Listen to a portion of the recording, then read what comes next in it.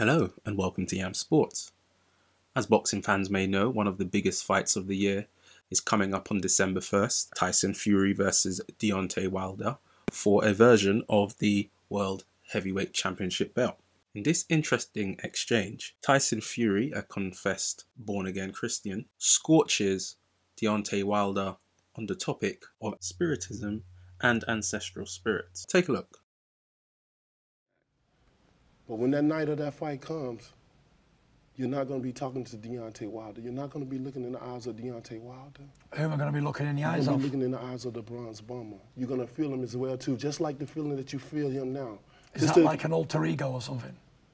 Or is it a, a, Is a- it well alive? Is can- it like a spirit that comes into you, or what is it?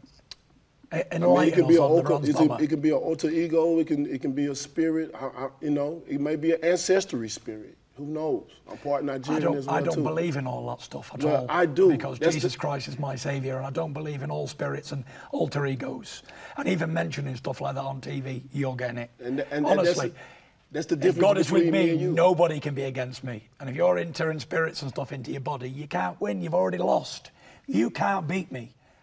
This is not your time. Your time, my may, time. Your time may come, but this is not your time. You may think it's your time. You may feel like it's your time, but it's not your time, Tyson. This is my time. And Definitely it will not. forever be my time until I retire. I'm sorry to tell you that because I speak it, believe it, receive it. Speak it, believe it, receive it. Speak it, believe it, receive it. And it's mine. Let me tell you, all that stuff you just said, you're already beat. Believe it. Anyone who has to have an alter ego it. and not be Believe themselves in there real. and trying to get in someone's mind like It that. is. I'm not you trying to get in your beat mind. me. It's and if I'm not talking to. Deontay Wilder, It's not an let me talk to the other person inside you, the bronze you- bomber. I'm not trying to get in You're your looking at a man who stands in the light. I don't want you I can't be- be beat by any alter want you to egos. feel me. I can't be beat. I don't want you to. You ain't never felt Definitely no power not. like mine. You never Power, yes, I have power felt power. like mine. You're, you're You never seen You're power like a little dust in the mine. ocean. You ain't got no power. But when you power in what? it- I felt the ultimate power from above, mate. When you But feel the power I'm feeling Nah, for you you, is negative. You negative energy. That. You ain't felt that because I You're told a you a long time ago You're I'm gonna baptize you. Yeah, well, let's see if you And can I'ma show you every- me. I'ma put the spirit inside of you. 100%. I don't And want I'ma show you how it that you claim I don't want. It's gonna Because be your God against my God. Time and time again.